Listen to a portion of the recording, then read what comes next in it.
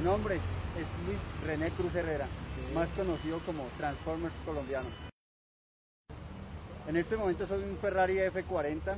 He bautizado mi Transformers como Phoenix 2. Fue diseñado para renacer de sus cenizas como el ave Fénix. Este proyecto está rescatando algo que falta mucho y sabe que es que la gente sonría en la calle. En este momento yo vivo en mi Transformers. Yo vivo de las sonrisas de la gente. Hicimos un disfraz pero no era transformable. Lo sacamos el día de Halloween. Pegó muy bien. O sea, no pensé que, no lo, no lo pensé comercialmente ni laboralmente, lo pensé más como por divertirme. La construcción de un Transformers es eh, algo que lleva tiempo y mucha paciencia.